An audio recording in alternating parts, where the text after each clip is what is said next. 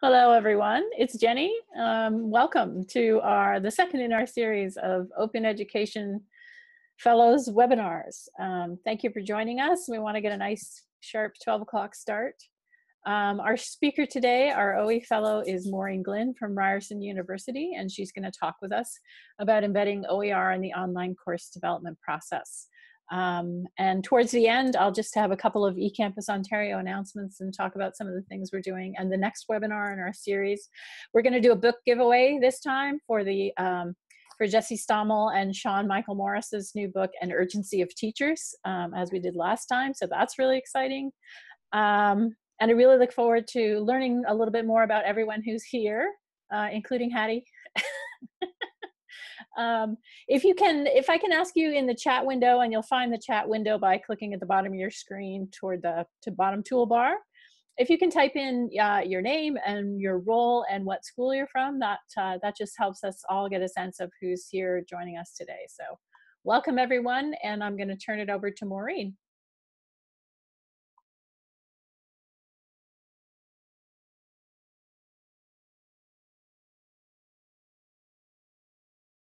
Okay, sorry, my, my uh, mute button was not cooperating. Now it is.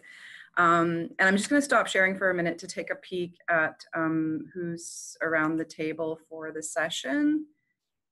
Um, a little bit about myself. I've been working here at Ryerson with the digital, digital education strategies team for about eight years. Uh, so during that time, I've um, supported and collaborated on around 50 online courses. And in the past year, I've had the great good fortune to be involved with the eCampus Ontario Open Education Fellows Program. Um, so I'm hoping to share a little bit about my experience in both those capacities with you today. Um, and I'm just taking a look at the chat to see um, who we have with us in terms of are you instructional designers, are you, instru- are you teachers, ed tech, librarians? So I have a sense of uh, where we're going with the conversation. Okay. Great.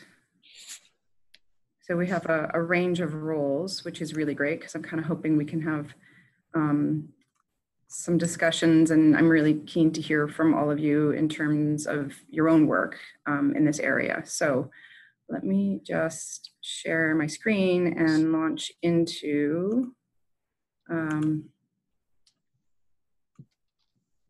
some of what I'm hoping to share with you today. Um, what I've done is set up about 30 minutes of, of stuff to talk about and share.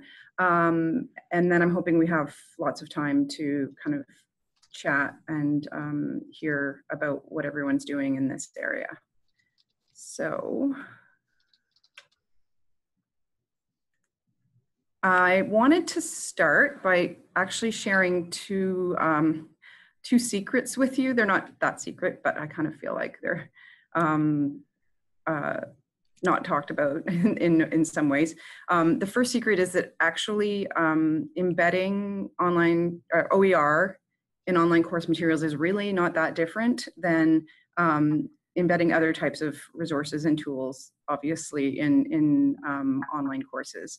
Um, but what's important is that um, if you thoughtfully integrate OER into your online course development process, then it really can unlock some really amazing opportunities um, for you and your students uh, in terms of content, but also, also pedagogically. Um, so um, in terms of what I'm sharing today, I'm this will be familiar territory for, for most of you, I'm sure. Um, but I just wanted to kind of bring a, a, bit of a different and new lens to the course development process and how, how OER um, can be um, of benefit as part of that process. And the second secret is that I don't profess to be an expert in this area, um, but I uh, feel like I'm, I'm learning every day. So I'll share what I've learned with you, um, but I'm also really keen, uh, as I said, to hear from, from you guys. So, so those are the two secrets that I thought I'd start, start off with. Um, and also just wanted to kind of level set um, I'm fairly certain that everyone here at this point has a general sense of um, the definition of OER or an understanding of what um, OER represent. But I just wanted to review um, the, the, the, sort of uh, key characteristics of OER so that we know what we're talking about when we're looking at their use in online course development. Um, so I, th I, thought I would quickly recap the UNESCO definition of OER, which is one that I turn to a lot. Um, they basically define open educational resources as any type of educational materials that are in the public domain or introduced with any open license. The nature of these open materials means that anyone can legally and freely copy, use, adapt, and reshare them.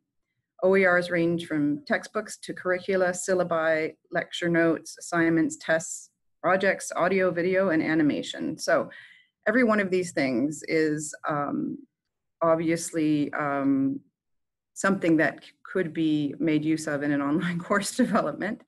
Um, beyond that definition, um, again, I'm sure you're all familiar with the five R's that we have up here on the slide, retain, reuse, revise, remix, redistribute. Um, not all OER actually um, meet the, the criteria of the five R's, but many of them um, allow for or afford some of the five R's. Uh, and the overarching characteristic of no cost for users um, can be helpful clearly for students if you're looking at uh, the case of something like an open textbook. But in the context of online course development, it can be helpful as well because if you're launching into the process of designing a course and you're looking at materials for which you know you won't have to budget um, for permissions, things like that, that can be really helpful. So uh, just uh, again, kind of um, putting our cards on the table and and uh, reestablishing the idea of what we're talking about when we're looking at using open educational resources uh, in online course development.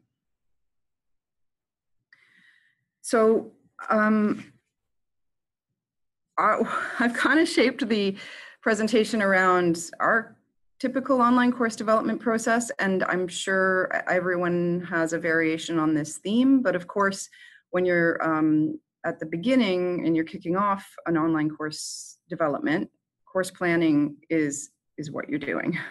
Um, so um, the reason I have this bit.ly link at the bottom of the slide is because I'm going to um, kind of walk you through some of the, the tools and resources that I'm finding helpful when I'm working with instructors on online course developments um, and kind of explain a bit of my thinking in terms of how they really um, help to boost a given step in the online course development process.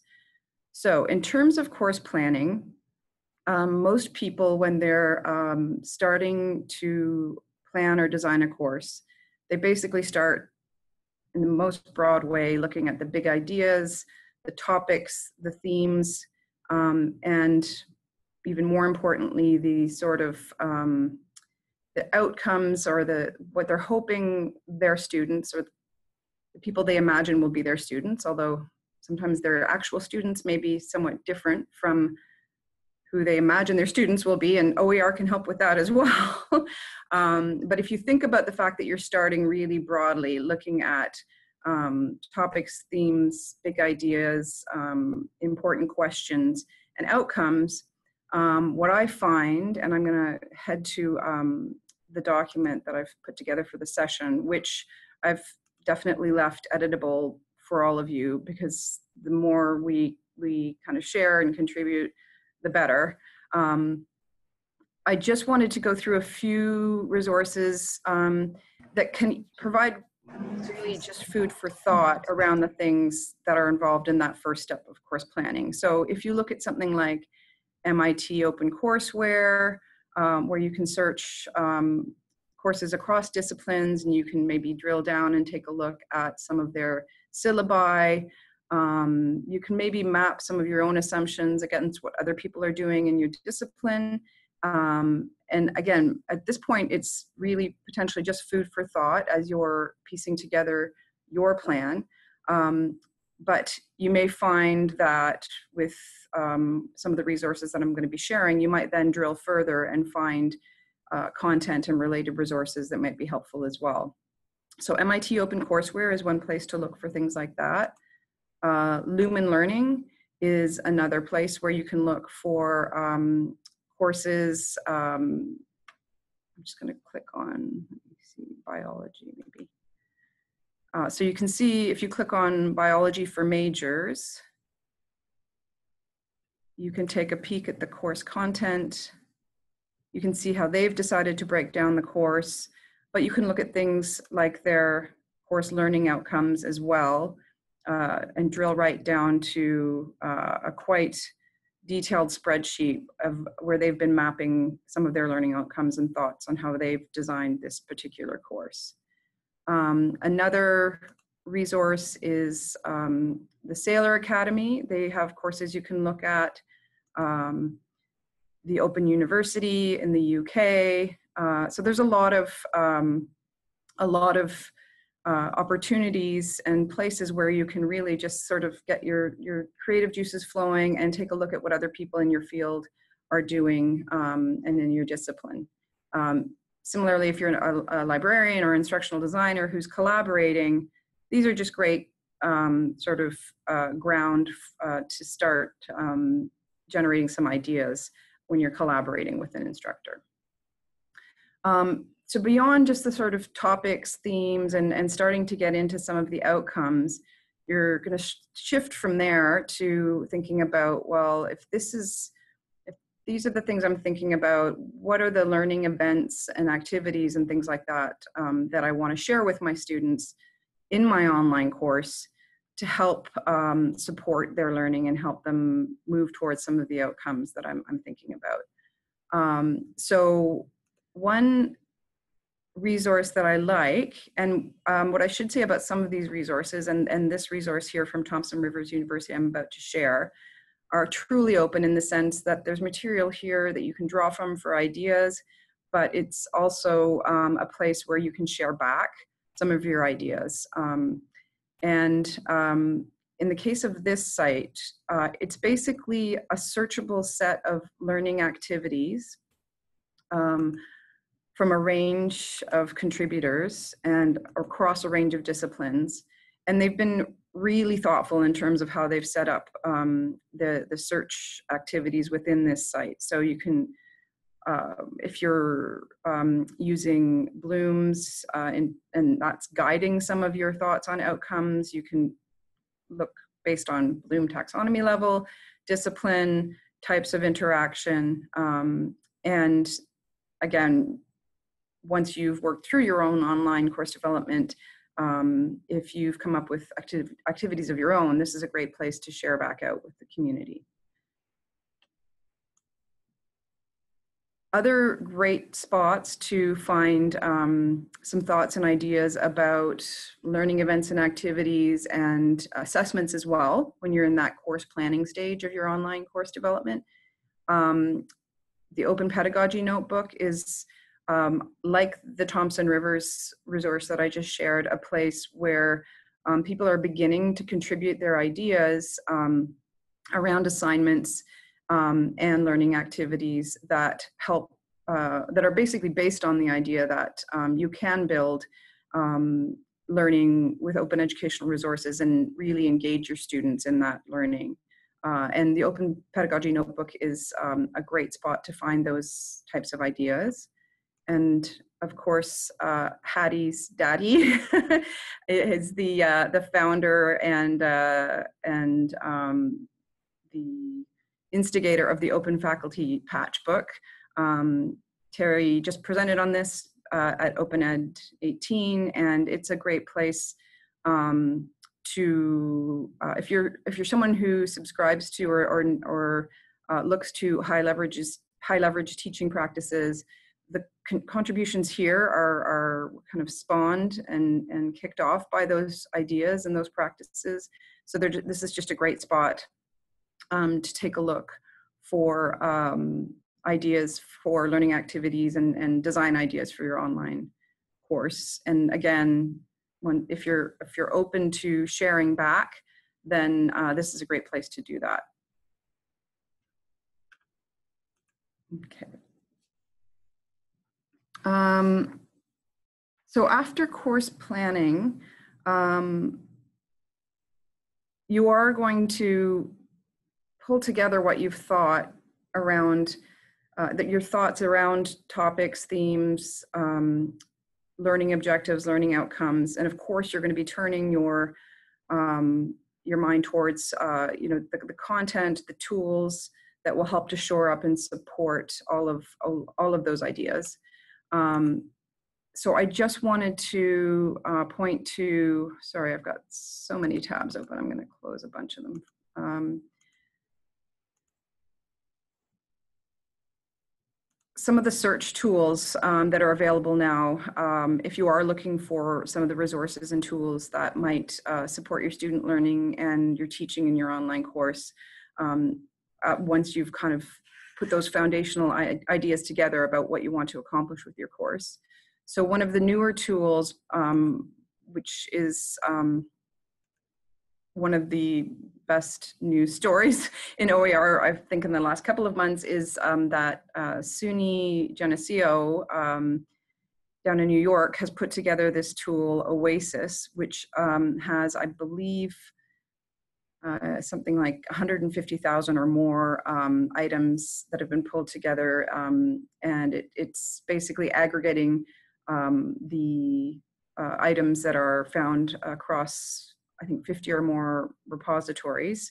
Um, and it's just a great place to start searching. And you can see um, you have the opportunity to search by type of item or material, uh, or you can just do a broader search across the board for things that are related to your course or to your um, uh, learning objectives, your your discipline, um, you name it. Uh, it's it's um, been a huge help, I know, to myself and my team, and in honing um, and and getting our search up and going. Um, I think it's fair to say, um, you know, 10 years ago, their OER were everywhere, but it may not have been as easy to find some of them. Discoverability had has been a problem in the past, but I, I, efforts like this one are really going a long way to assisting um, those of us who support instructors as well as instructors in um, accessing and finding high quality content and high quality tools to support their work in online course development and to support their work if they're hoping to become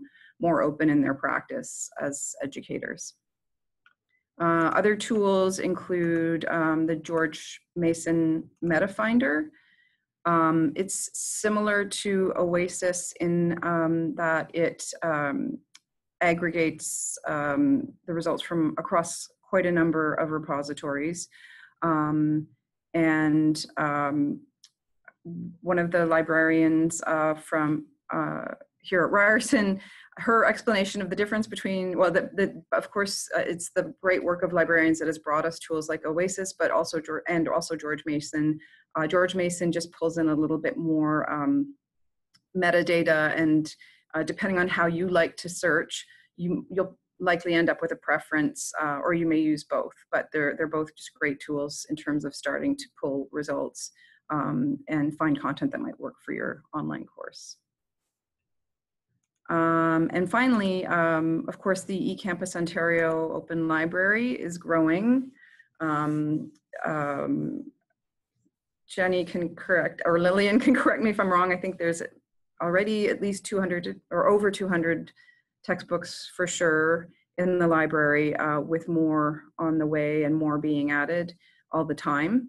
Um, but I've put the eCampus library here as a reminder that um, as good as some of the search tools that I just mentioned and aggregators are, um, it's just a reminder that um, there are OER out there that may still not be on the radar and may not be in some of those repositories. Um, so they may not be picked up by some of the tools that I just mentioned.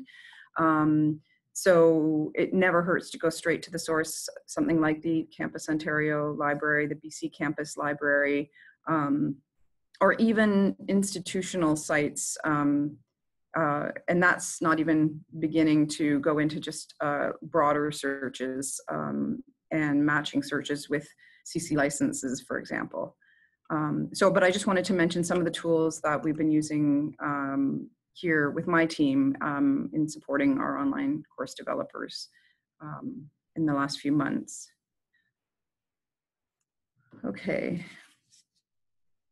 Um, the other thing I would say before I leave um, the course planning stage is um, if open practice is something that's of interest to you and if you're hoping to make increasing use of OER, open educational resources in your work, um, uh, Benny and Burgos are two um, researchers, and I'll come back to their work at the end of the session, who uh, have done a lot of work thinking through, uh, um, they've done a lot of work, Catherine Cronin, uh, other people have done work, just thinking through the profile of an open educator.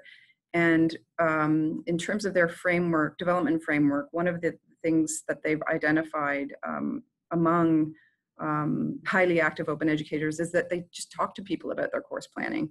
So maybe they're talking initially just to people in their own department. They might talk to past students. Um, they might reach out, depending on how involved they are in social media, to a larger community. But when it comes to online course planning, um, part of being open is really just you know, going out into your community and talking to people about uh, what they think um, and, and what you might consider in, in putting into your course. So just a quick um, note to here to say, um, whoops, sorry. Regardless of what you do find, um, quality is always important to, to students and instructors. And I just wanted to point you to um, the work of um, Ishan Ebeordina, sorry, I probably didn't do a very good job of uh, his last name, but hopefully he'll forgive me. Um, so this um, this model here is just uh, we've adapted some ideas he had, and again, this just really touches on a lot of what you would be looking at with any resources or materials that you pull together for a course around currency, reliability, authorship, um, purpose, um, all of those things. Uh, but it adds that lens of um, openness and access. Um, how how editable is uh, is an item that you're looking at? How how openly available is it?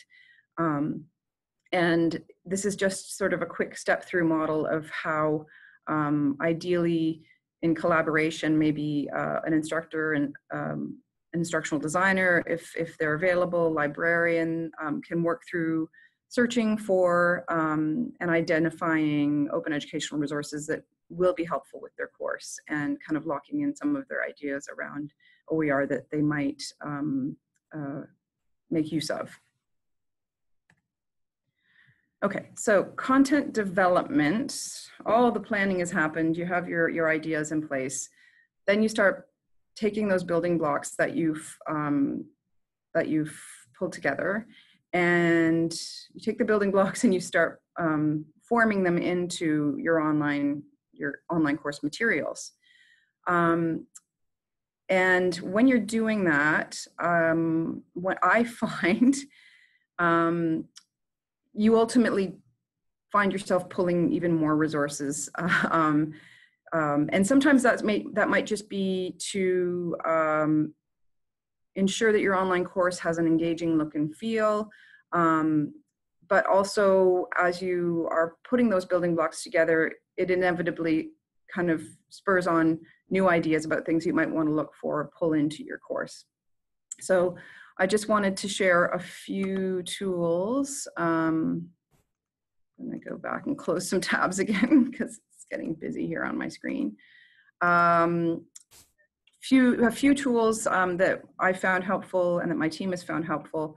Of course, Creative Commons search um, is just a great place to start because um, it will guide you to um, items that are typically licensed in a way um, that are free of, of um, the requirement to uh, go any further for permissions.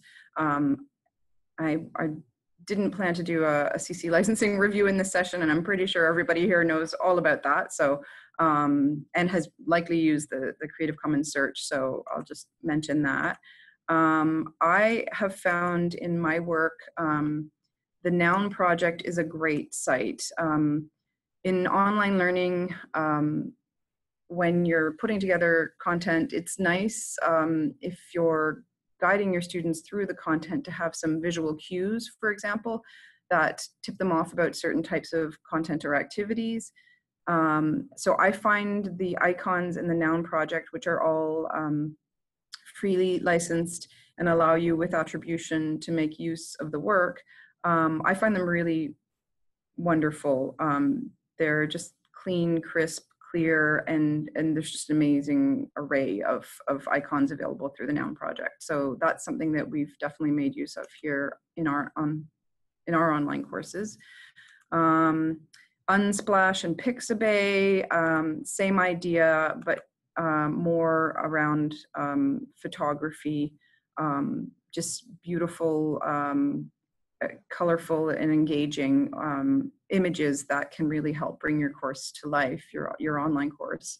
Um, and uh, again, freely licensed, CC licensed, where generally attribution is the key requirement. Um, some other tools um, that you could take a look at uh, in terms of audio video uh, audio visual um, rich media um, vimeo has um, an area where you can look at cc licensed um, video and they have categorized it based on the type of license which i find really helpful um, free music archive if you're putting something together yourself, maybe creating a video and you need a bit of a soundtrack, you can take a look at a place like the Free Music Archive. Um, and beyond that, I have a couple of sites here. I'm going to call this Alte because I don't know how to pronounce it otherwise, um, which is um, a growing catalog of um, more like tools and platforms uh, that are open source and openly licensed, but may be very useful to you in your online course development. Um, and also H5P.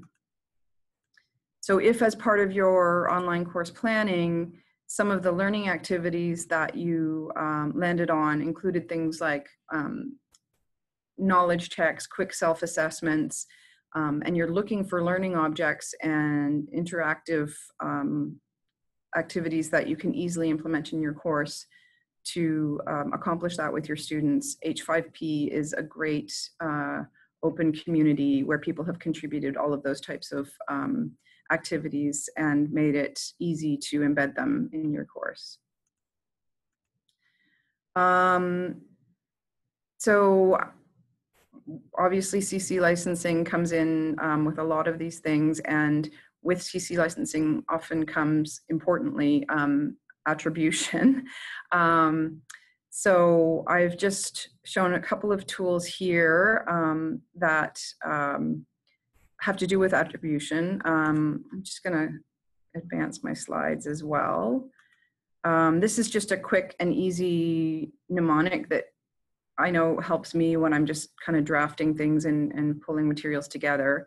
Um, in terms of attribution, title, artist, source, and license. Uh, or in many cases with online course development, it might be an author who you're citing. Um, in, there's an example here on the slide. Um, so with the authorship, sometimes you can create that link to the original source. And then um, the licenses um, through C uh, Creative Commons um, are easily um, available to link to, but you can also use tools, excuse me, um, like the Open Washington Attribution Builder. I'll just show you quickly. It's sort of um, not a pick and play, but if you kind of fill the right fields, then it will help you put together the attribution that you need based on what you're maybe adapting or adopting in your course. Um, and the BC Campus OER Faculty Toolkit has a great page as well to help step you through and guide you through examples um, and instructions for properly uh, citing and providing attributions for OER that you're using um, in your work and in, in this case in your online course. Uh, and then in the case that you've perhaps um, in the midst of your online course development created things that you want to share yourself as well. Um, there's the Creative Commons license generator that walks you through the steps of um, deciding and creating the license that you would like to go with to share your own work. Okay, so after um, you've worked through all the planning and built, brought all the building blocks together, created all your course materials, then things get really fun because you actually get to launch your online course development. Um, and that's where I, I'm finding more and more um, with our online instructors. I'm, I just make a pitch to sort of keep that open spirit alive um, through um, just openness and transparency with your students um, from the very beginning. Um, having taken the time and thought to put together a syllabus, um, you know, right from the very beginning, it's a good idea, of course, um, to engage your students in a discussion around the course outline and around the syllabus, um, get a sense for who they are and how that, that um, plan might work for them. Um, beyond that, um, it's important as well to um, if you're gauging things throughout the course, so you have a check-in at the beginning on the outline, you have a check-in midway through on how things are going, are the strategies and content working for the students. The great thing about OER is the flexibility allows for tweaking. So if you're hearing your, from your students, stop something, start something, continue something, then OER, their, their um, flexibility allows for you to make those changes. Um, and I have included a link to um, uh, Nascimbeni and Burgos um, research through the Open Education Open Educators Factory here um, to just give you some food for thought once you've launched your course.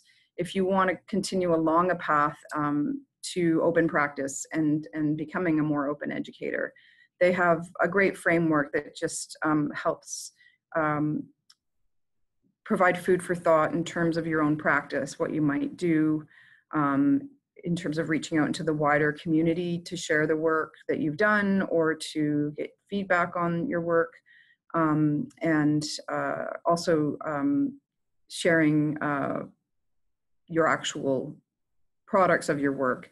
Um, I, in terms of online courses, I know um, many of us are in situations where you can't necessarily um, share out openly your your online course content per se but there may be artifacts and and different products that you've produced as part of the course that um, you can share openly um, and ideally over time uh, all of our institutions will be providing clearer and better guidance around um, how and when you can share with the wider community.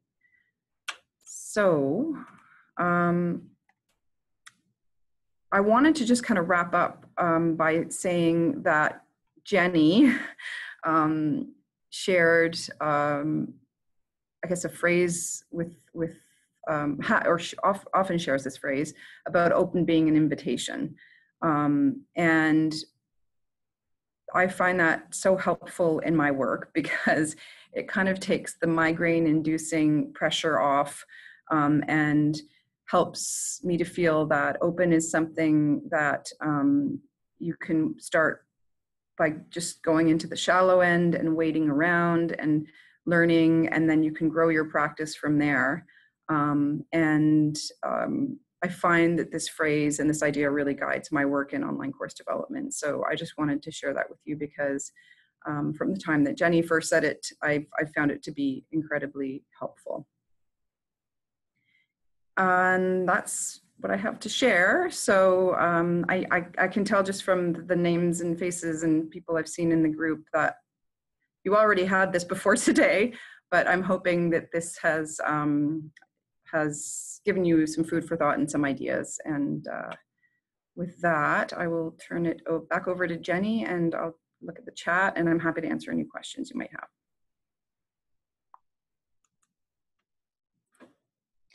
Thanks, Maureen. That was awesome. So yeah, I mean, we really want to have some conversations. I uh, I kind of went through and and quickly muted people that weren't muted just because I forget to do that myself, and then I'm typing away, and everyone's annoyed. um, but feel free to unmute yourself and ask a question or put a question in the chat. Um, maybe to get us rolling, Maureen, I'm just curious to know um, how's it going? like what kinds of how are the, our faculty members receptive to this conversation as part of your course designs because i know you do a ton of course designs at the Chang mm-hmm. school mm-hmm. i've been um, pleased pleasantly i'm not going to say surprised but I've, i have been um, encouraged by the enthusiasm um, that has has um, that, that we've been met with at any point that either myself or my, my colleagues share um, ideas around open with, with faculty. Um, we're, we're right in the midst of, um, we're kind of right in the guts of our winter 2019 course developments right now. So I'm really keen to see um, where things go with that as um, we, we typically have 13 modules in our online courses and as the modules are coming in um, i'm going to be checking in with my instructional design colleagues and our production editors to see where things are going. But in that early course planning stage um, where we very deliberately built in um, conversations and supports for open um, we were hearing not only about the courses that people are working on here with us but we were hearing from people about things they wanted to take back to their departments to talk about. And the great thing about the conversations we've found is it really helps people to understand that they've there's a lot of people who've been out in the open or have been using open practices all along and this helps them to frame what they've been doing in a really helpful way so i've certainly had um, more than a few instructors um, quite happily find things like open textbooks that they didn't know existed. Um, but also, um, on at least one occasion, we've had a developer um, be part of our conversation and come out of it saying, I, we, my department and I literally have this whack of content that we've been sharing with students and didn't really know there was a, a framework or a way to share it openly. And so, so that has been really encouraging. Um, and certainly in terms of design and um, opportunities for engagement and enriching courses, um, things like um, freely licensed images and uh, those types of things we're seeing wi- widely used. And that has helped um, just keep things rolling for a lot of our course developments because then we're not waiting around to hear back from publishers or um, stock sites or, you know, things like that. Um, around permissions. It just kind of keeps things smooth and running in a more streamlined way, knowing that we don't necessarily um, have to go for permissions if we're using something that's CC licensed.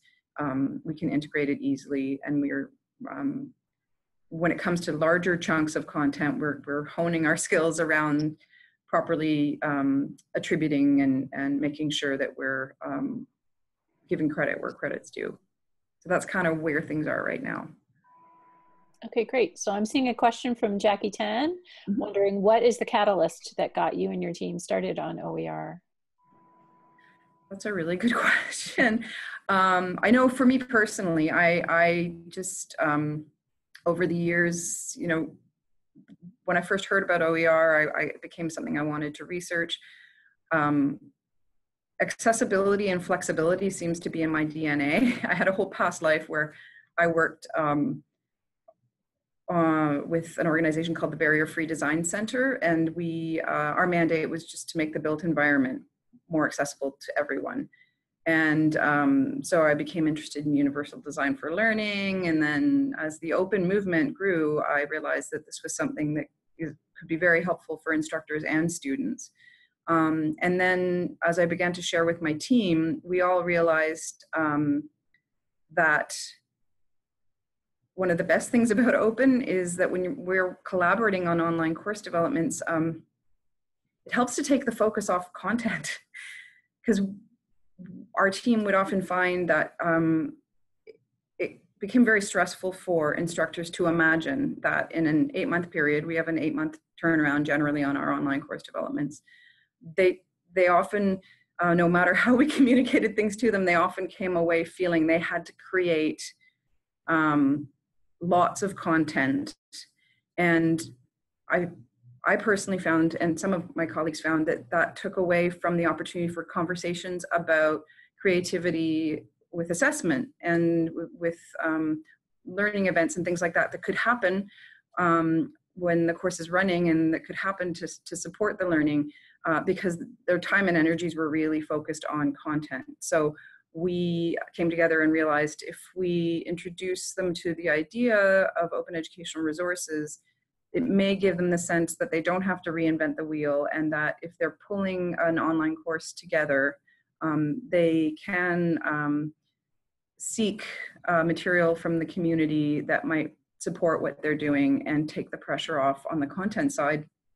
And then that absolutely gives them the freedom and space to think about um, how they can um, work creatively with the students uh, to achieve a bit more active learning and um, look at maybe uh, a new perspective on assessment as well.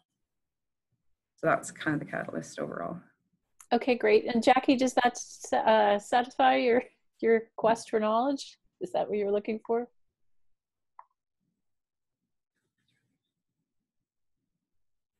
I know it's hard to unmute. Uh, maybe Maureen, do you want to work on Janice Weaver's question about blending o OER with paid publisher resources? Yes.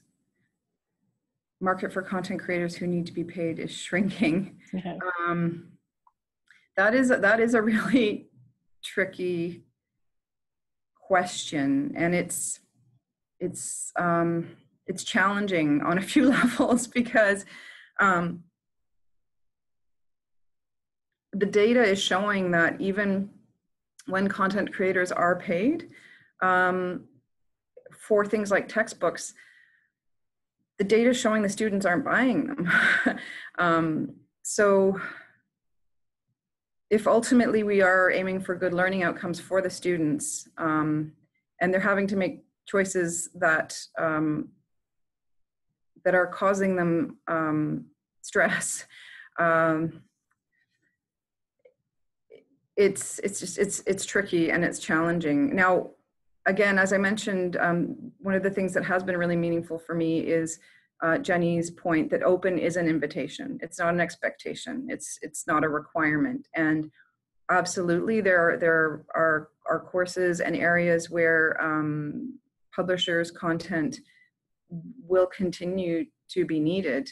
Um, so I, I, definitely don't think that that we're our objective is to um, well while open educational resources are low or no or no cost um, for users, they're definitely they, they can't they're, they shouldn't be, and they're not free to create. So part of the issue is is also maybe just a shifting of resources um, to um, to ensuring that content creators are still compensated. Um, but if they're working in an institution, um, then maybe there are ways for that compensation to come through whether it's government or within their institution in, in through creative reallocation of resources. Um, so I guess that's how I'm, I'm probably not the best person to, to, to answer that question entirely, but that's kind of my perspective. And, and I would invite anyone in, in the, um, in the webinar here to also share their thoughts on that. But I, I appreciate that that's an important question, Janice, for sure. Uh, what project management approaches do you use? Okay, uh, sorry, I'm just taking a look at Rosari's question. Initiate OERs into the early stages of course creation. Yes. When do we convince them? Project management, yes, okay.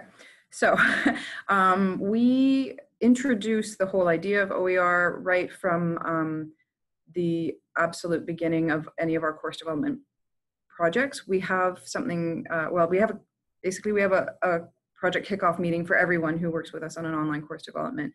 so during that meeting, we just um, we simply introduce the idea that OER exists and that they're an option that can be considered. Then um, we, when we move into course planning with them, we currently have a um, process where we bring the subject matter experts and instructors who are working with us towards a course development for a given um, semester. So I was saying earlier that we're working right now with the winter 2019 course developer cohort. Um, we have course planning workshops. And so during those workshops, we get a little bit more um, in depth around uh, our entire course development process. We work through the nuts and bolts of course planning with them. And at that point, we um, actively support them in looking at OER as an option, um, not as a requirement, as an option, um, both with respect to readings, texts, um, tools, um, all of those things that they might make use of in their course. Um, and um, in terms of the project management of the whole thing, typically the instructional designer is the is the main contact, but we engage our colleagues. We have production editors who are well versed in OER permissions, licensing, attributions, and our so our subject matter experts and instructors know that those people are at the ready to support them if they do decide to use OER as part of their course development.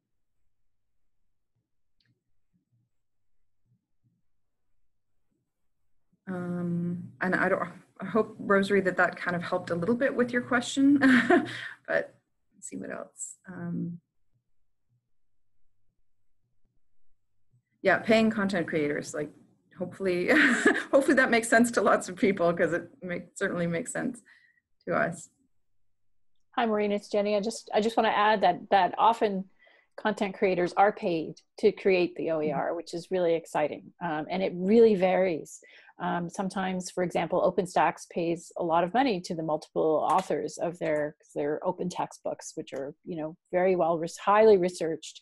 Uh, eCampus Ontario, we had um, an open textbook fund last year from the government of Ontario, and um, we paid you know varying amounts depending on whether it was an adaptation or whether it was a full new creation. Um, but we're very much in favor i think of paying authors for sure. And often in the course and this varies as well often in the course online course development process um, the subject matter experts are paid for the process. Uh, and i think we're starting to look at new models where if they are willing um, because they were paid to create the resources, would they consider making them open? Is there any academic advantage to them um, for in terms of their reputation or their research um, to make those materials open if they're developing them anyway uh, as part of a paid contract? So I think there's there's multiple models, and I think Queens, Rosari, even Queens has a model where you have a small fund for creation or adaptation of OER. Is that right? Hi, Jenny. Sorry, I was muted. Uh, it's Rosari. Um, yes, we do. So we, we, we, we've basically, we did a pilot um, for the last academic year, 2017-18, and we're on the cusp of putting out a call for a second round of proposals for, again, these are fairly small internal uh, grants that are available. Yeah. Great. Yeah, and I think that you know it's it's sometimes it's not the amount of money involved; it's just the recognition and and support of authorship that's that's sometimes valuable. Um, we actually, I should mention, we have just kicked off um, for the first time this fall here at Ryerson. We do have a grant program through our library as well um, for um, adoption adaptation, creation. Um, currently, sort of smaller packages of funding, but they're available, they're there, and they're kind of demonstrating that support, um, which has been great through our library here at Ryerson for that kind of work. Jackie's asking a follow-up a question about the quality. How do we how do we engage the conversation about the quality of OERs? This is a very common faculty member question, right? Right? Yeah, for sure. Um, so a few things, and I would again invite everyone to jump in here because I know I'm I'm in good company. Um, for people knowledgeable um, members of the open community here. Um, in terms of the open if you're looking at open texts, um, huge, huge um, majority of them at this point, certainly the ones uh, through BC Campus, OpenStax, um, have been reviewed um, by one or more, um, uh, like they've been peer reviewed, certainly within the discipline. Um, I know eCampus has put out calls for, for reviewers as well. Um, understanding that time is a factor, uh,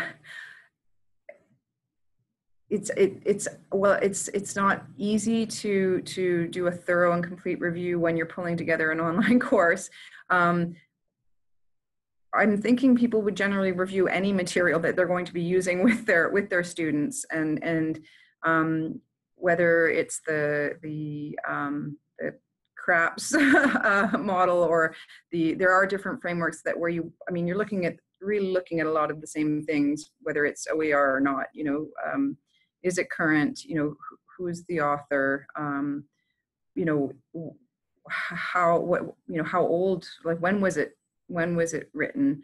Um, those things don't change between OER or or um, other types of resources. Um, but I, the the quality issue is not one that's been ignored by um, the creators of open educational resources.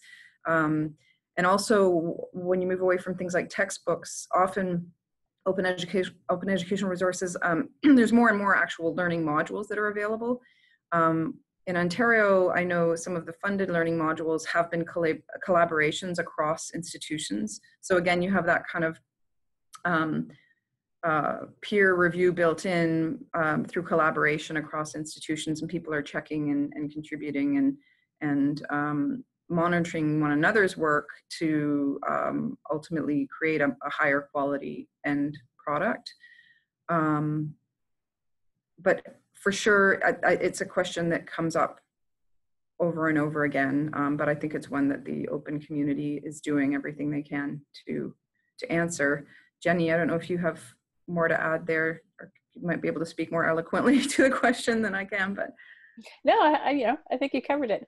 Um, I was attending a very funny session at OE Global uh, in Delft, um, where someone from the SUNY organization, an instructor from the SUNY organization, said, you know, ultimately the the issue of quality rests with the subject matter expert who's teaching a course. Um, OER are not different um, in terms of how you would review them and determine whether or not they align with your learner's needs and the topics that you want to teach. You have to take a look, and this is um, OER has not yet, the, those who publish OER have not really yet been able to form a, an, OE, an open Salesforce where they can go to your, your office as an, as an instructor and show you a copy of the textbook and talk it through with you.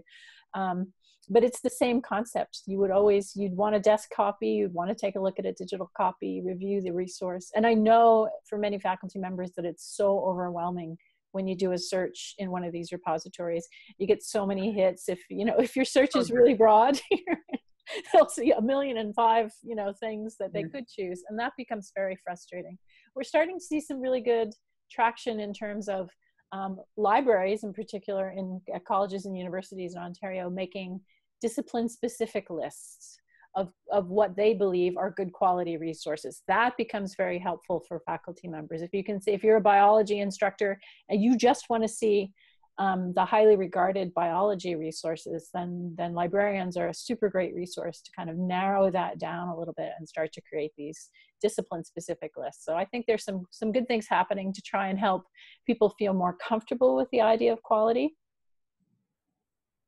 For sure. Can I add something? Sorry, it's Peggy here. Is that okay? Please do. oh, okay. uh, I'm just going to weigh in that, that we're still open for reviews, so I'll add that. And we can send you a desk copy if that helps. And if you're reviewing the desk copy and see something that needs changing, I can then get you an account in Pressbooks and you can go in and change it right then and there and use it in your course. So in, in terms of keeping the quality up, uh, that's another way that, that in, in my opinion, it might even be easier to keep the quality up and open because you can, if you find a mistake, you change it right then and there. You don't wait for the next uh, publishing run my two cents. But if you'd like to review, we are still looking for reviewers of our open textbooks. Awesome, Peg. If Thank you can put a link or contact information, Peg. I'll throw it in chat. Thank. Awesome. Does anyone else have questions or want to put their hand up or have comments to offer?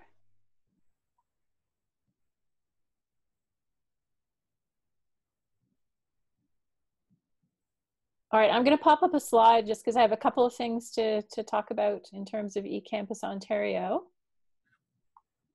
Um, and Maureen, um, did we see your contact information go by if people have follow-up questions and things like that?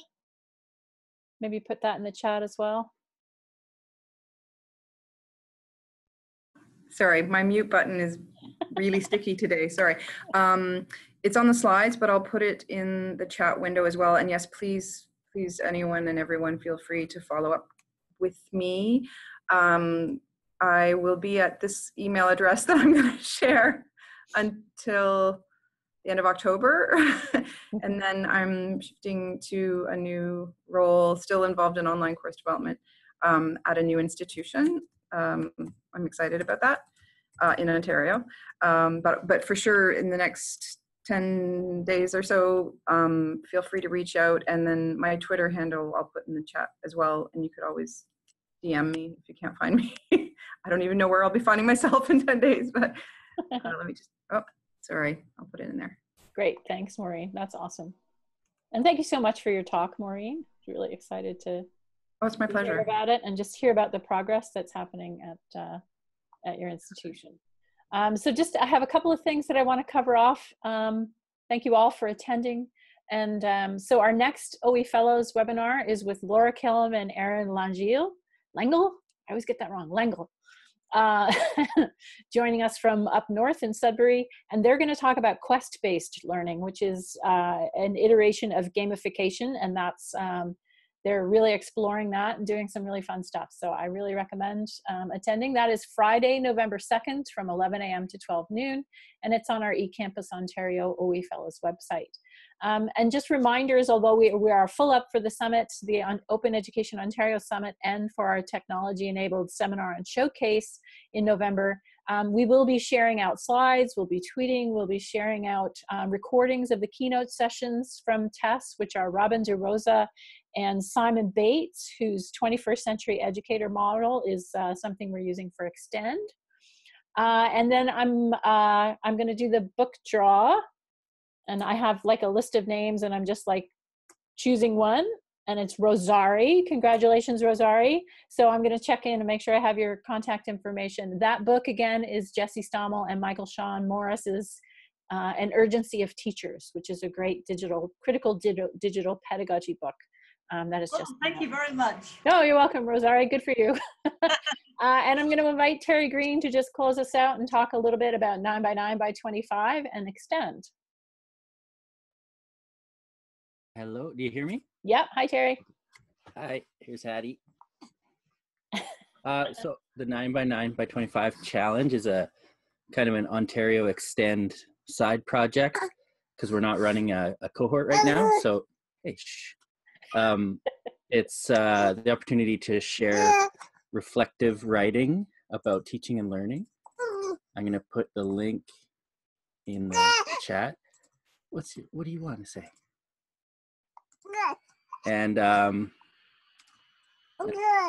and so extend itself the other thing i wanted to say ontario extend is a it's a an opportunity for faculty and and librarians and technologists and everyone to uh, play around with technology to in order to enable learning experiences. Um, so in because I, I mentioned we're not running a cohort right now we will be running it more like a traditional course than we have before in january so if you're interested in trying it out, it'll be over 12 weeks in um, edX, more like a MOOC kind of.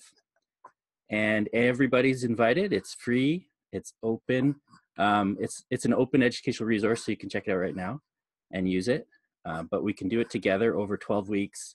There's six modules, um, and so two, mo- a module per two weeks, and each module should just take a few hours each. So it's not a huge weekly um, commitment, but it is a weekly commitment. Um, so if you're interested, watch out for that. And uh, I'll send out a sign up form soon, very soon. So thank you. That's all I wanted to say. Awesome. Thanks, Terry. um, all right, Lauren, I'm gonna I'll I'll check in with you offline about the summit. Yes, and and we'll figure it out and make sure you have the right information. Um, so thank you, everyone. Thank you, Maureen, so much for all your time and uh, and sharing your work at Ryerson and the work with this OER in the course development process. Um, and we'll see you next time at the OER Fellows. And, uh, and again, we'll share out a bunch of stuff as much as we can from the summit uh, and from TESS in November.